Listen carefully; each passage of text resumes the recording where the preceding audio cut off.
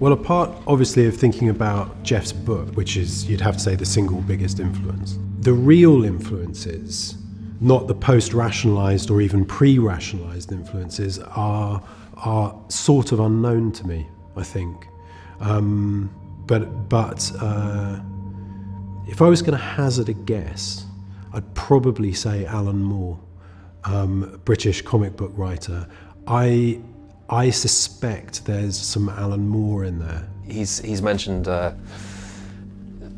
in the in the past how the Alan Moore comics were a big influence on him, and Alan is is a yeah very intellectual writer in, in the same way I think that, that Alex is. Swamp Thing.